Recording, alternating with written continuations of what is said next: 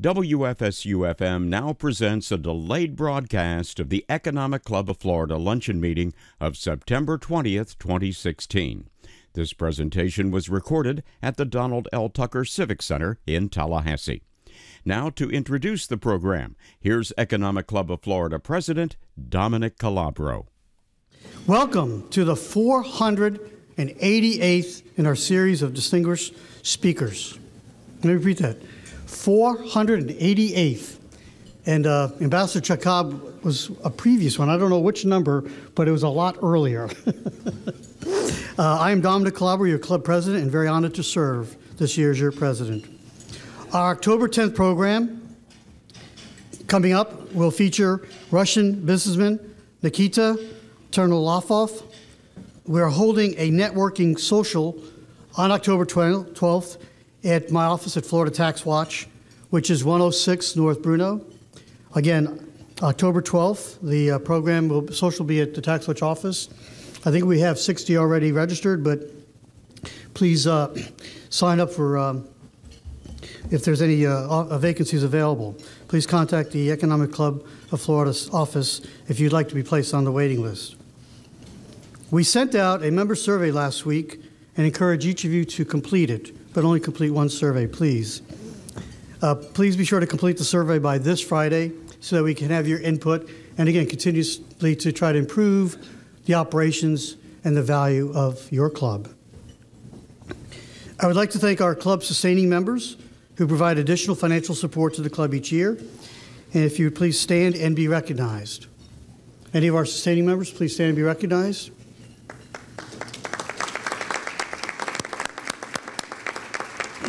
Keep sending in that money. now I'd like to introduce the head table. Please hold your applause until I've introduced the entire table. Beginning on my far left and your right is uh, Ms. Patricia Shevers. She is a fourth generation Tallahassean. She taught in the public schools of Florida for nearly 25 years and retired from the Florida Department of Education. Uh, next, of course, is our speaker, Ambassador Chuck Cobb, who I'll introduce in a moment. On my far right, your left, farthest is Kenneth Kent. Ken Kent is the executive director for the Florida Court Clerks and Comptrollers and has extensive experience in local government administration, project management, and finance. Extensive experience, not expensive, but extensive. He didn't make too many mistakes, or he wouldn't be where he is today. Uh, by the way, the clerks and uh, comptrollers have a very, very complicated and important responsibility throughout Florida. Next to him is Jack Diestelhorst. Jack is a longtime friend of mine personally, but also, most importantly, owner of Notary Public Underwriters.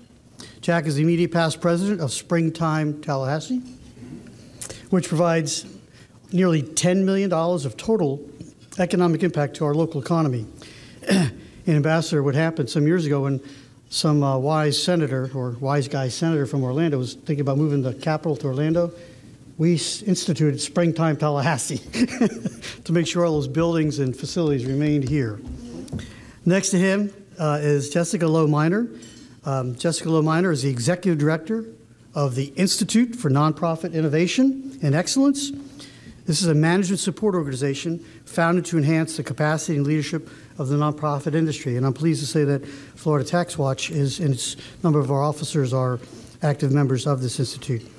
The Institute serves as a driving force for this region's economy and quality of life. Now, it gives me great honor and uh, privilege uh, to welcome Ambassador Chuck Cobb. Uh, we also want to thank Ash Williams, who I think will be joining us shortly after the, uh, his meeting of the trustees, governor, cabinet, uh, who's also been very helpful in getting uh, Ambassador Cobb here. Just let you know, his schedule's so hectic, he's going to be leaving here to go to Toronto and then to Iceland, where he has been many, many times. Chuck, uh, Ambassador Chuck Cobb is the CEO of Cobb Partners, a very successful investment firm. He has served as United States Ambassador to Iceland during President George H.W.'s administration and as the Undersecretary of Commerce during President Reagan's administration. He is the former Chief Executive Officer and also Chief Operating Officer of Arvida Corporation, Penn Central, Disney Development Company, Kaiser Aetna, Aetna, and has served on the board of nine publicly traded corporations and many, many private corporate boards. Ambassador Cobb is a 41 trustee and past chair of the Board of Trustees of the University of Miami, a former trustee of Stanford Business School Trust Fund. Florida's, uh, for Florida's governors, Ambassador Cobb served as governor, served Governor Jeb Bush as chair of the FTAA and chair of the Florida Council 100. For Governor Crist, he served as chair of Gateway Florida. For Governor Lawton Chiles, he served as a member of the Commission on Education. For Governor Bob Graham, he served as chair of the Florida Council 100's Economic Transition Team and personally made six economic development travel missions with Governor Askew. Chuck Cobb has also served as chair of Florida's uh, SBA Investment Advisory Council. He serves as a trustee of the Woodrow Wilson Center. We see Bob McClure as president. He serves as uh, Bob's uh, on the board of the James Madison Institute, the Council of American Ambassadors, Plymouth Congregational Church Foundation, and many other or civic organizations. Uh, he's previously served as an officer in the U.S. Navy and a member of the 1960 Olympic team. He has an, a BA and an MBA from Stanford University. And um, one other thing I did want to mention in here that not only is he serving, but I think what, what Chuck Cobb really has notably done is made things, good things, really, really good things happen. Because he's worked collaboratively, found what's best in people, best what's in our political and business leaders, brought them together to solve meaningful, real challenges and provide meaningful solutions, and didn't quit till it got done. One thing he did, I think it was right after Governor Bush got elected in 1998, beginning in 1999 as chair uh, of the Florida Council 100, he instituted what's called the Florida Five to make sure a lot of our groups, Florida Council 100, Florida Tax Watch, Associated Industries of Florida, Florida Chamber, uh, and Enterprise Florida would collaborate, particularly on a couple of really key issues so that we could help, whether it's in educational reform, whether it's infrastructure and transportation, economic development, meaningful, wise tax reductions, but to make sure we work together to improve the governance of the Sunshine State.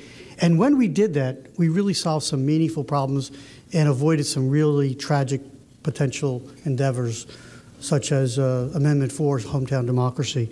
So he's been a doer, but he's also been blessed to have an incredible champion and uh, love of his life and business partner, and that is his wife, uh, former ambassador to Jamaica, Ambassador Sue Cobb, who's also been former Secretary of the State of Florida and former Secretary of the Lottery Department.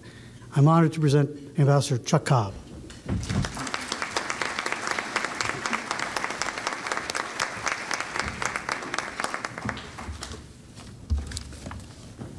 Thank you, Dominic. That's, uh, that was a very nice introduction. And that, uh, guess that dramatizes I have a difficult time holding a job here to here to here to here.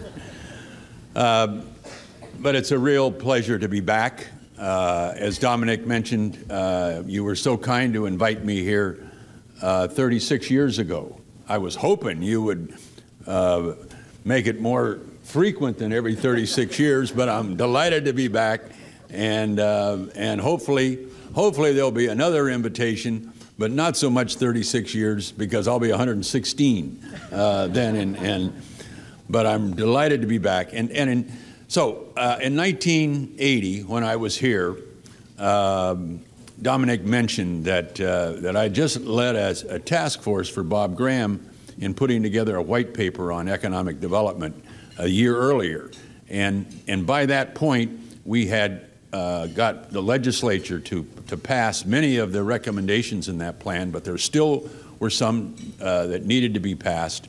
And um, so I was here in 80 lobbying and asking you to help us with the legislature uh, on some uh, priorities. And so I'm here today to also ask your help on lobbying the legislatures on some points I'm going to get to in a moment, which I think are high priorities for 2016. But what I thought uh, might be interesting and uh, was to give you a perspective on economic development and job creation in Florida over the last uh, many decades. Um, and, and my punchline is going to be I think we've really been served by some very good governors and a very good business community. Um, and, and the net result is Florida has been a leader in job creation and economic development. But let me give you a sense for that and, and, and why I think some of the lessons learned uh, should apply to 2016. So, uh, the first governor that really was involved uh, was Farris Bryant in uh, early 1960s. Uh, he, uh, he had a number of different proposals for economic development and job creation. He started the Florida Council of 100 in 1961 and, and, and, and really sort of, for the first time, uh, set the course. Uh, Governor Burns and then Governor Claude Kirk kind of continued, but still, Florida was not yet in the big leagues. We, were, we had so much growth from retirement spending and other things, there wasn't a, a need, or it wasn't a felt that there was a need for, for an economic strategy for additional job growth. We come to the early 70s and then Reuben Askew, and we actually took a step back during Reuben Askew's first term. As many of you remember, uh, Governor Askew uh, implemented a corporate income tax. We did not have one up until that point. And so that was, that was increased the cost of goods sold of, of, of companies. Florida was perceived to be less competitive. Our national ratings went down a little bit. Uh, but dramatically, in Reuben Askew's second term, he did a 180 degree. He could see that we needed to do more in job growth.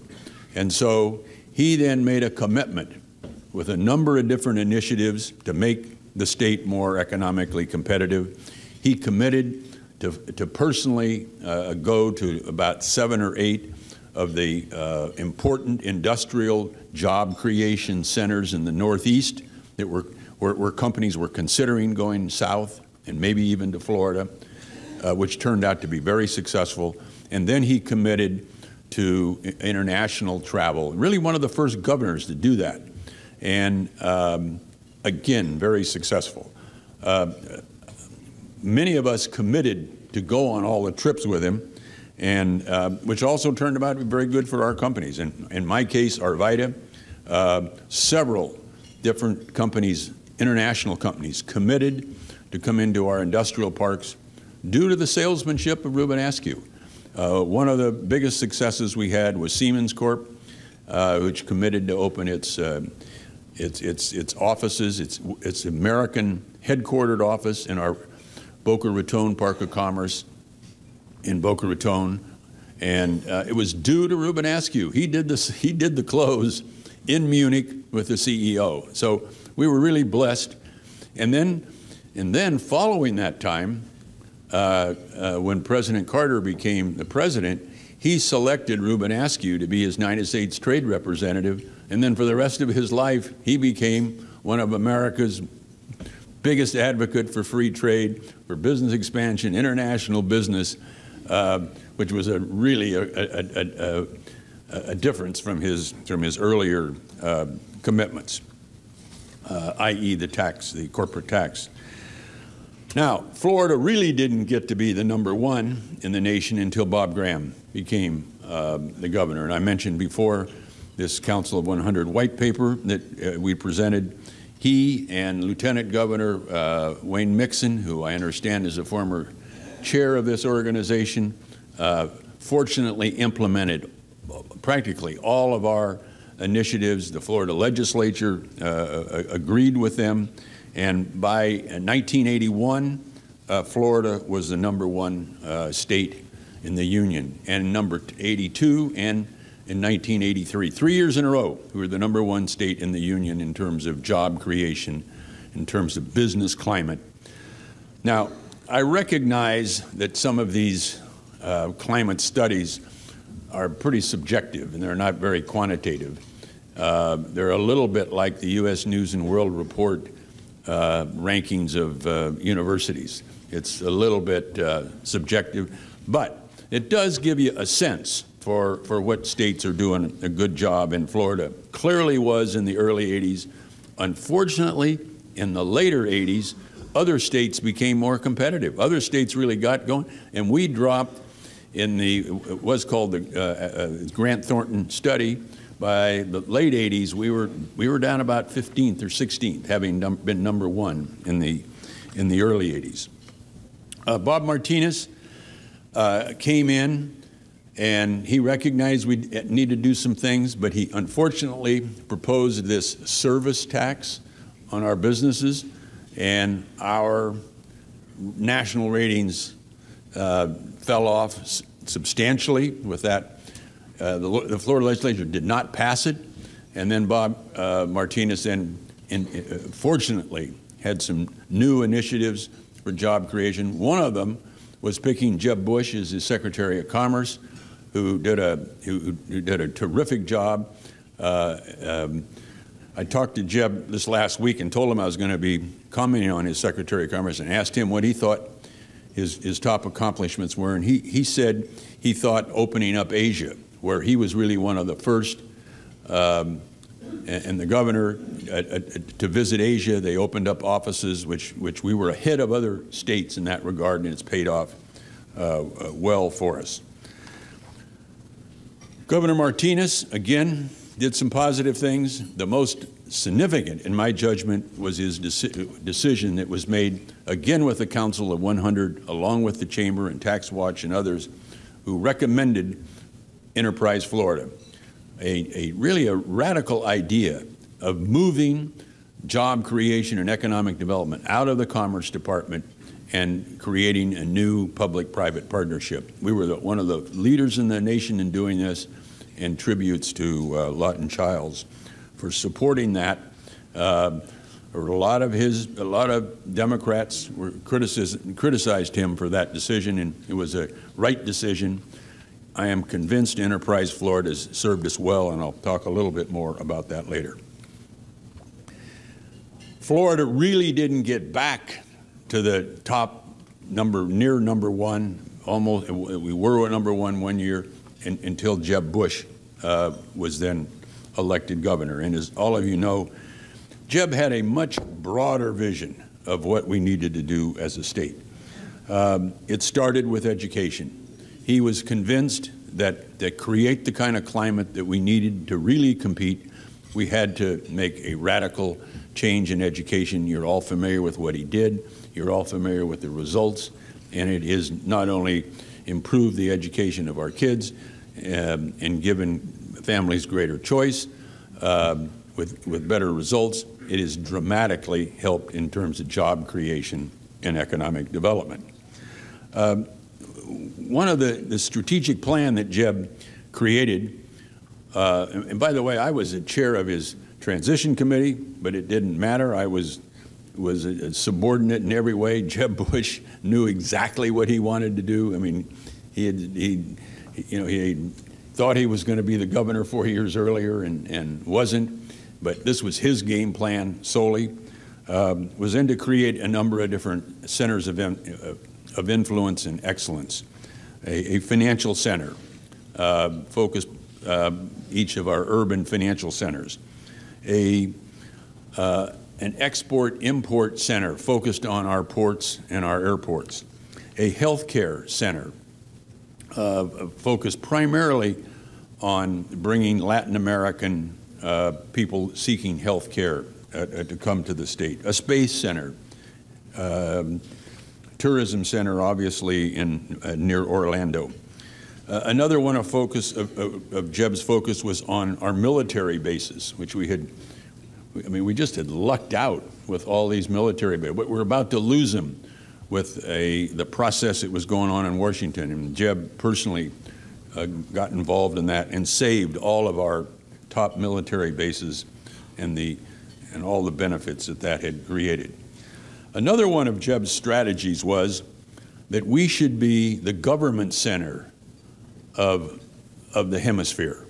And, and, it was, and so we, that's when he created Florida FTAA. And it was, it was, and so his vision was that as uh, Belgium is to Europe and as Brussels is a city, uh, Miami would be the Brussels and, and, and Belgium is the, is the Florida, we would be the center of, of a government consolidation, be it a free trade area or whatever other consolidation that was going to evolve. Unfortunately, that didn't uh, come to pass because of in, in my part, in my concern, a lot of uh, lack of focus by the Obama administration, who've, who've been more focused on Asia, which is good, and been focused on Europe, but have neglected, in my judgment, a little bit our relations with Latin America and the Caribbean. Probably Jeb's biggest, you're probably all familiar, uh, Jeb Bush had these BHAGs, big, hairy, audacious goals. And one of his biggest, in my judgment, was the $400 million commitment to biotech and the life sciences, the commitment to Scripps and, and, and Sanford Burnham and others. Now, some have criticized that as, quote, corporate welfare or crony capitalism. I disagree with that. There was no corporate, uh, no corporation invo was involved. These are all nonprofit companies. Uh, it's also been criticism it wasn't that successful. Uh, Sanford Burnham has now decided to exit, and the University of Florida is going to take over that biotech. But in my judgment, a new industry has been created. New jobs have been created. 25% increase in university funding has been created by this biotech initiative. Florida now is one of the leaders in biotech because of that initiative. In my judgment, it has to be expanded. Jeb was not a, a big didn't have a big commitment to incentives, but he did believe strongly that they were focused incentives worked, and clearly Enterprise Florida had to be uh, funded properly, and more comments on that in a moment. One of the things that didn't get done during the Bush administration was a commitment to venture capital financing. One of the things that was clear, Florida was not uh, creative in, in venture capital funding for a lot of businesses. And so there was discussion of possibly having the Florida pension plans, 100 plus billion dollars, maybe 1% of that or over a billion dollars being focused on venture capital and other growth businesses of Florida. Fortunately, in 2008, during the Charlie Crist administration, with legislative initiatives, primarily led by the legislature, a bill passed that allows 1.5% of the Florida Pension Fund assets to be invested in the Florida Growth Fund. And so that has, since uh, 2009 forward, we have now invested a, a, little, about a half billion dollars in these businesses. And, and one of the important points, this legislation made it clear these weren't grants. These were investments for the beneficiaries of the pension fund. In other words, fiduciary rules had to apply. So the net result after seven or eight years now in this half billion dollar investment, and we're on our way now to a, a billion dollar investment, we've earned 11% compounded return on that money, and we've created 15,000 jobs, and the average of those jobs is $85,000, about twice the average of other jobs created in Florida. A roaring success. I give Charlie Crist, he's the one who signed, he wasn't a big initiator, but I give Charlie Crist the credit for, because that was done on his watch. Rick Scott, as you all know, it's been his highest priority, and he certainly has done a good job. The Hertz, uh, many other successes, he's, he's convinced the legislature to make us more competitive on regulations, and although we still have some ways to go, we still are more competitive as a state than we were before, before Rick uh, became uh, governor. So, my quick summary of 50 years of history. As I said at the beginning, Florida's been blessed. We've had really good governors, Republican and Democrat. We've had really good legislatures, Republican and Democrat, and we have had really enlightened business leadership, which I, I, I, I think we're very fortunate. And when the history of Florida is written and focused on economic development, I think we, it will be a good record. But we're now at a critical point, in my judgment, as we look at 2016. For the legislature to totally gut Rick Scott's recommendation of $250 million for Enterprise Florida Initiative, I think was not wise. Um, I think many of these large incentives are questionable. I think, I think we do not have a good enough return on investment analysis to know whether some of these incentives are good. But not funding Enterprise Florida is, I think, just really wrong. And there is a movement by the leadership in the Republican legislature to reduce Enterprise even more, and even some suggestion to eliminate Enterprise Florida. I think that would be very, very unwise. What's the net result of last year's reducing in the budget? Well, the first is we have knocked out three or four international offices. Ladies and gentlemen, international trade is the most important industry in our state today. Uh, One million jobs relating to international trade. We are the second largest to California producer of exports to the, to the world of the other states. We have 61,000 exporters that are using Enterprise Florida, and now their delivery system, their helpers in all these uh, countries that Jeb Bush started several years ago have now been eliminated in the budget, which I think is very, very unfortunate. A, a, second, there's many, there's many, and I only have time to deal with two of them. So first is the uh, closing the offices. The second is the pay of the CEO. So now they have a budget to hire a new CEO of Enterprise Florida at a budget that's less than most of the regional economic development people. And compared to um, industry standards, I am very skeptical, although they've now selected five people, I think, as the, as the candidates. In my judgment, we're not going to get a superstar to really drive Florida forward with the, with the budget that has been, that has been created. So, um, another, another point, and maybe I'm too close to this one because I led this Florida FTA effort. I was disappointed that Rick Scott vetoed the previous appropriation. Uh, this was a this is a very small hundred thousand dollar effort in that complemented Enterprise Florida uh, to move forward in meeting with Enterprise Florida can't lobby foreign governments, and so Florida FTA could or Gateway Florida could lobby excess governments, and, we, and we've lost that opportunity.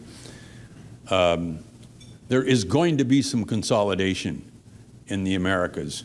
And right now, Panama City is ahead of, of Florida, and some other, some other regions in the country, Atlanta and others, are now, and Houston, have now, are more aggressive in that area than, than Florida is. So I'm worried about that. Higher education is absolutely critical to our economic development.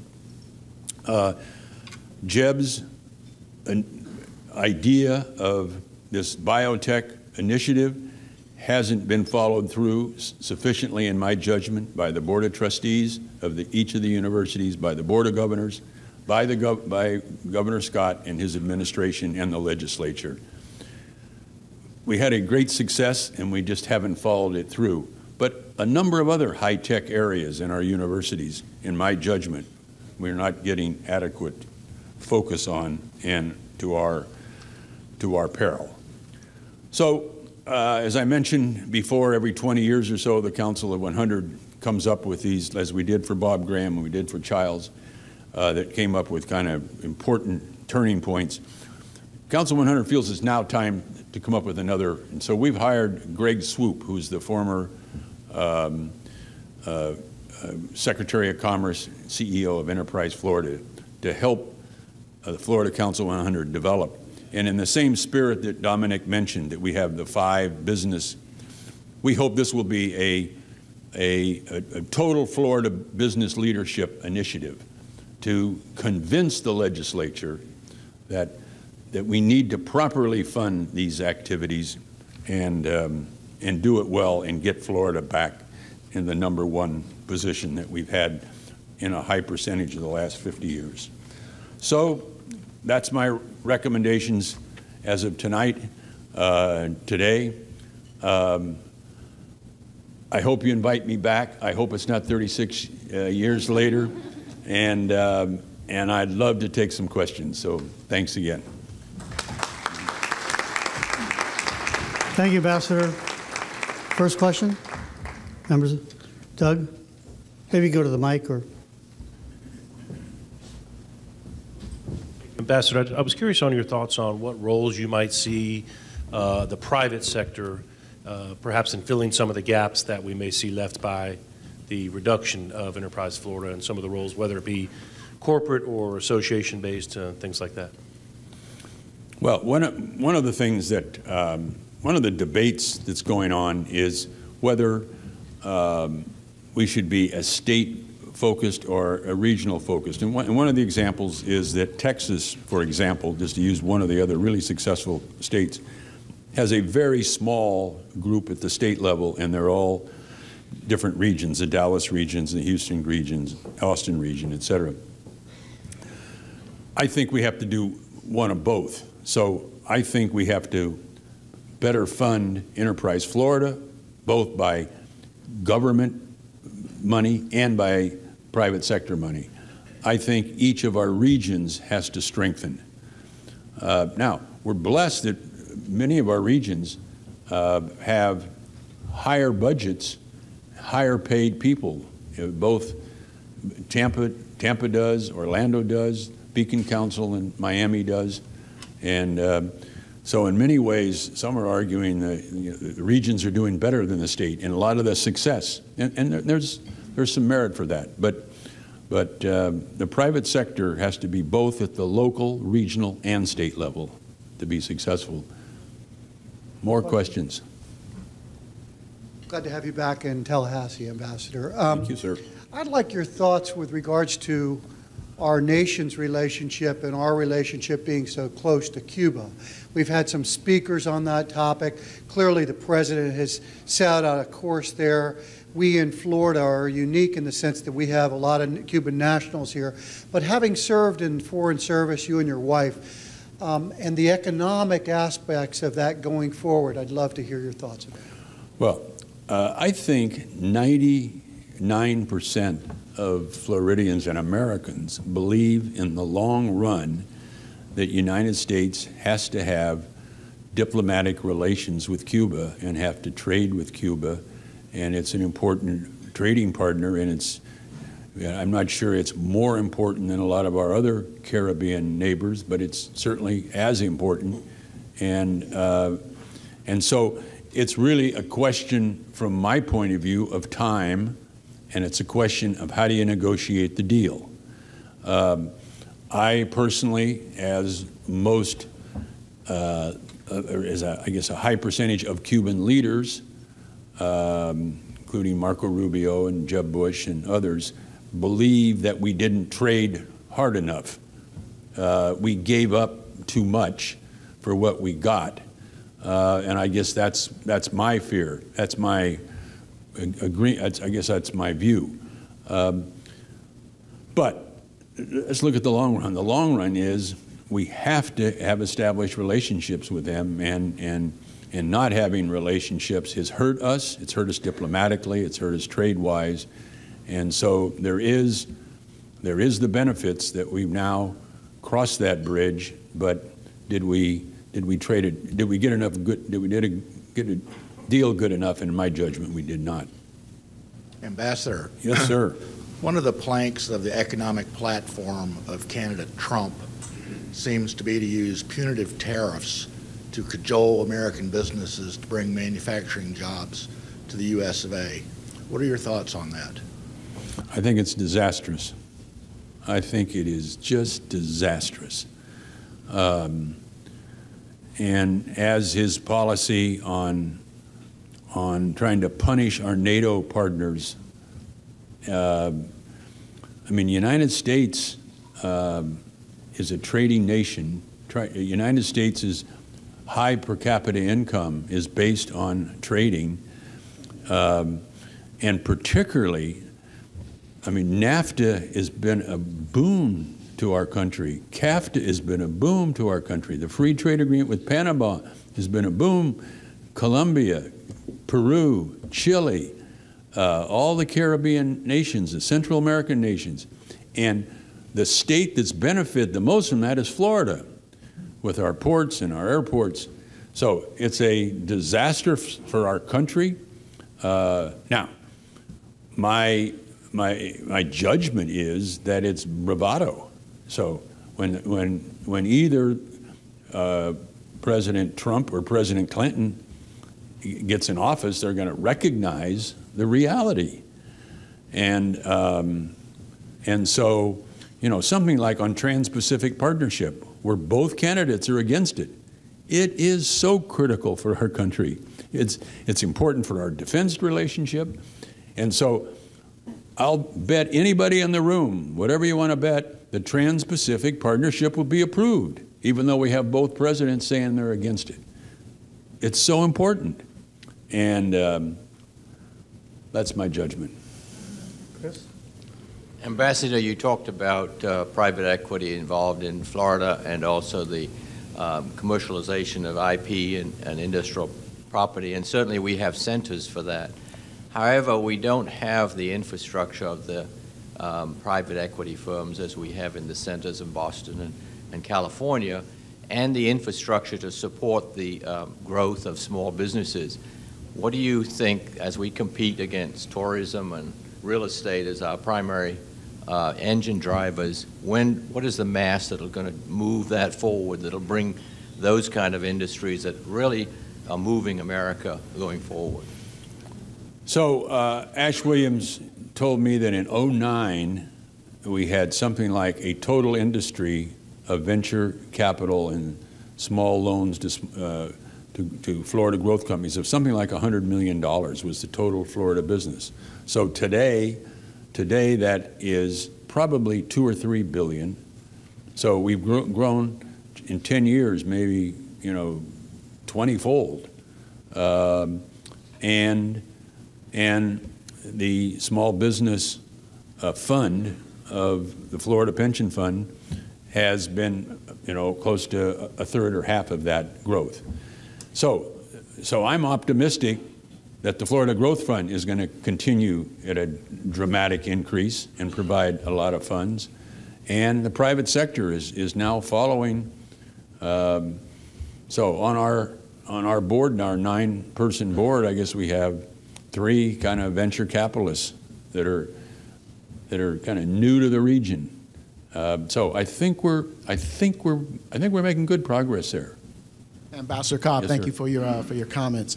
Uh, want to get your perspective. 36 years from now, what do you think is the uh, greatest set of opportunities facing Florida, and what do you think is the greatest biggest threat?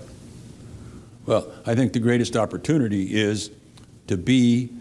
So my vision for God, 36 years too long. Let's think. Let's think 20, 30 years.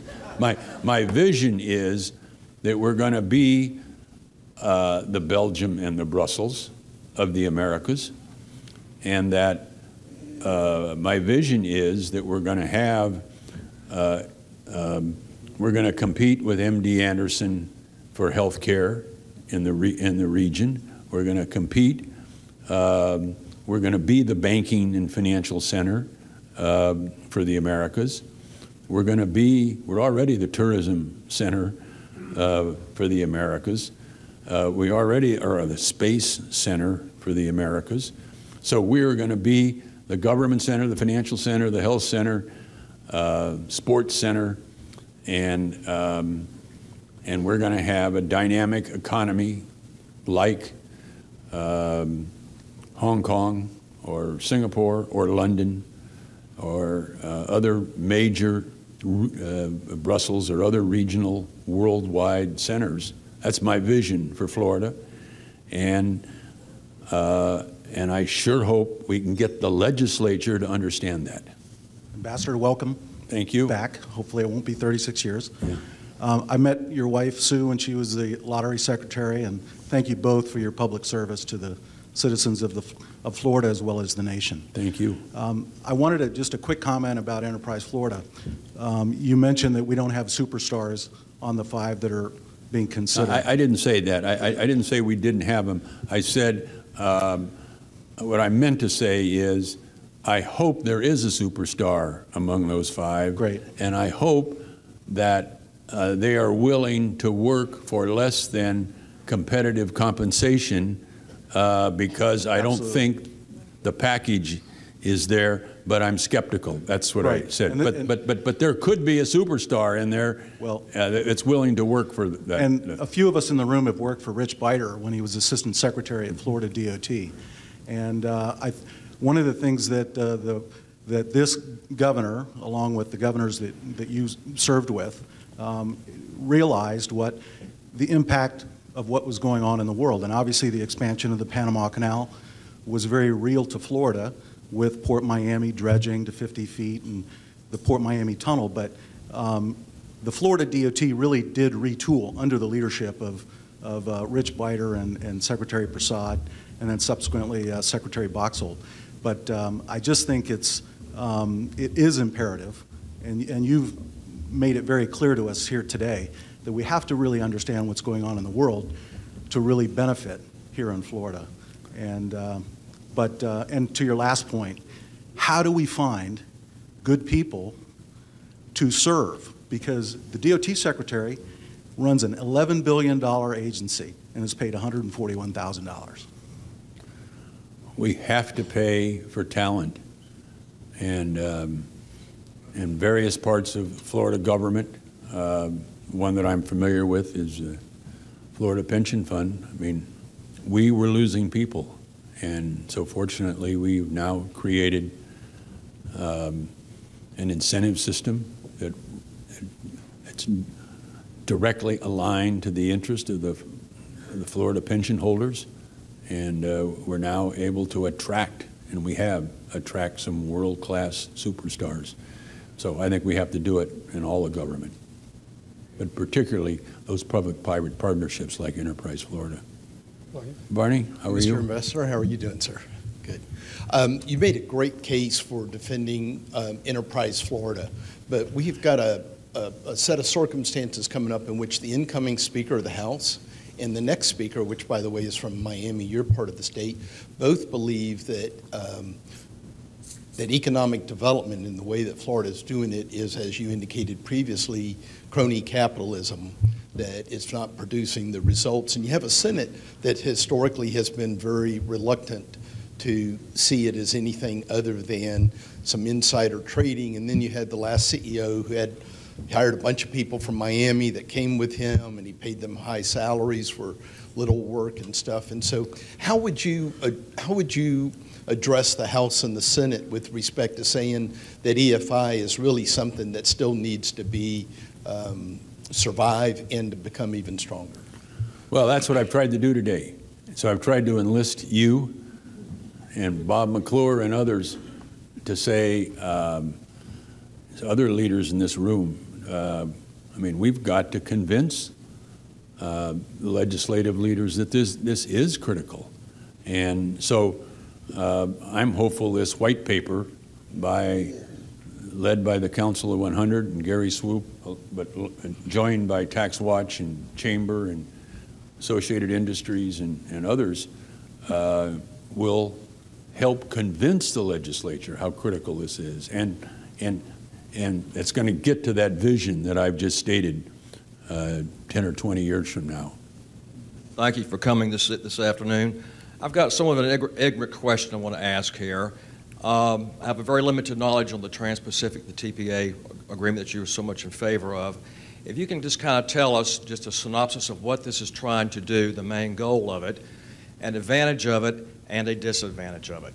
Good. Thank you. So uh, the advantages of the Trans-Pacific Partnership is that it, uh, we have been trying for 20 years to get agreement in, in, the, in, in uh, the, for, the World Trade Organization, which it takes, uh, it takes you know, 150 countries to agree, and we cannot get, I mean, it's just too big of a body. So we can't get agreement to uh, not subsidize agriculture like to the extent that we've had. Um, you know, a cow in Switzerland gets about you know $100 a year subsidy. Uh, you know, it gets almost as much as a, a lot of people in the world make for you know, their total salary. Um, so, we, I mean, there's so many issues. So the Trans-Pacific Partnership deals with a lot of those critical issues, deals with cyberspace issues, deals with the technology transfer relating to the digital world we live in, deals with environmental issues, deals with labor issues. A lot of these issues were not in NAFTA or CAFTA because they were just too complicated. And plus, technology didn't allow it yet. We didn't have the, the, the bandwidth to deal with a lot of these things. So the Trans-Pacific Partnership, if it gets approved, will be the standard for the world. Um, and as you probably all know, China is not part of the Trans-Pacific. So if China wants in, then Trans China has to play by those new, tough, rigorous discipline rules. Now, in addition, um, the Trans-Pacific Partnership uh, will be uh, an important quasi-defense agreement, not quite a NATO, but, but a, a partnership of, of all the countries together surrounding China. And so supporting our friends in Japan, supporting our friends in South Korea, supporting Vietnam, um, and the rest of the players on the, on the, on the Pacific Ocean. So, um, you know, Hillary Clinton said it's the gold standard. And then uh, when Bernie got so high attacking it, then she had to turn her position. But I, am convinced that when she gets in, now maybe they'll make a, a little zig or a zag here, change a comma to get it approved. I'm not sure what the politics will be, but I'm convinced it's going to be approved. So I don't know if that is, does that explain why it's critical? I can give more details, but I think I, I saw some of your eyes glaze over when I do that, so I probably. Ambassador, I have uh, maybe two, two questions for you. One is going to be, um, I guess uh, you know better than any, in real estate, it's three rules is location, location, location. And sometimes in execution of policy, it's execution, execution, execution. So we may have a good, solid idea in Enterprise Florida, but it's a matter of having the right leader that fits we had that, I think, in Gray Swoope for the most part. I think he was a tremendous, by all accounts, well respected. Didn't quite have the legislative thing going, but he really was a champion and successful. Do you think it might well be that? That's number one. Second question Which do you consider among your private initiatives are you most proud of? Well, I'll do the, the, the last one first. Um, uh, in we created um, a company that has created some great communities in Boca Raton, in Weston, Sawgrass, Longboat Key, um, other places that, uh, that people really love to live in. And um, so we were one of the first in the nation uh, to do that.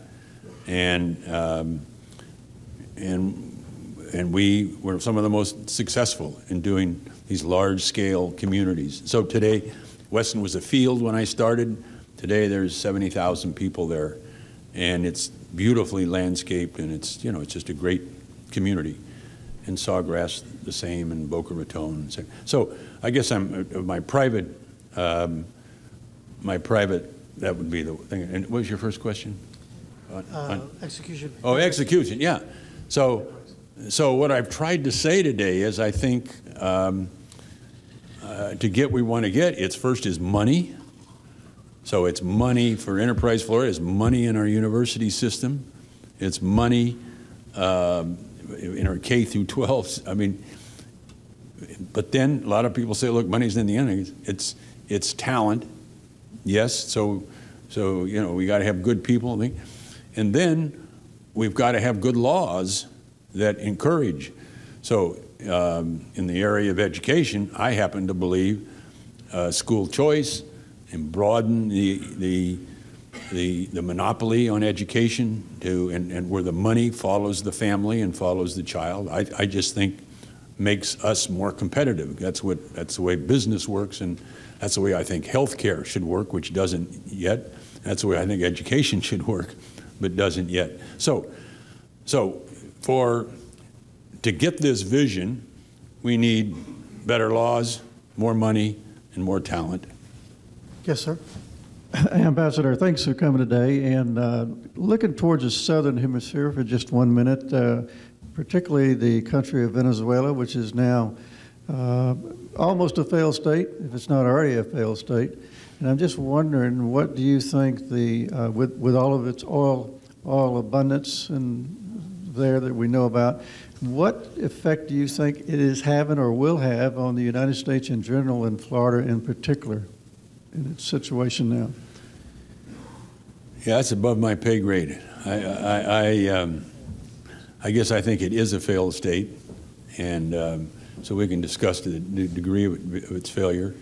But your, but your, you know, your question really is what's, what's baffling uh, leaders in the United States. I mean, what, what's going to be the follow-on? You know, so we don't want an Iraq follow-on, and we don't want a Libya follow-on. Um, and so, how do we, how do, how do we? It's going to crash. Uh, this airplane is going to crash. How do we have it be a safe, safe landing?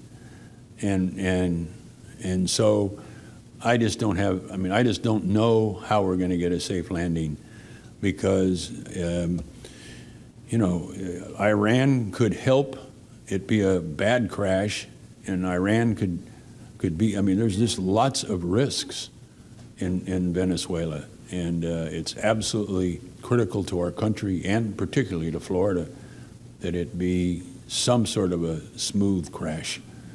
That um, that there's survivors and and we can pick up the pieces. But it's a good question. I I, I, don't have a really good answer on that one. Thank you. Um, Ambassador, thank you for your tremendous service to our nation and to the state of Florida and the people of Florida. As a token of our sincere appreciation for your time and your wisdom today, we'd like to present you with this limited edition bronze eagle sculpture, which we'll mail to you. so you don't have to carry it with you, by a local and nationally recognized artist, Stanley Proctor, who's done a lot of the uh, metal work in front of the governor's mansion as well. Ambassador. So thank, thank you. you. And uh, my wife and I love eagles. Um, we have um, a couple other eagle sculptures which we love, and I will cherish this one.